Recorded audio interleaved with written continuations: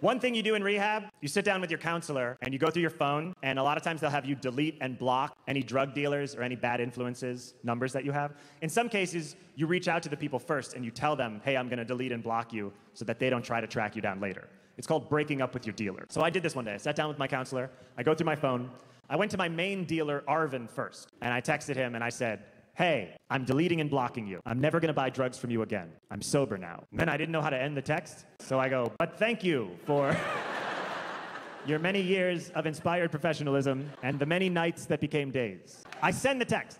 Before I can delete and block him, Arvin texts me back. He goes, Hey, I'm so proud of you for getting sober. Then he writes, You know, I only bought drugs to sell to you because I was worried about you and I didn't want you to get worse stuff off the street. I know. And I'm breaking up with this guy?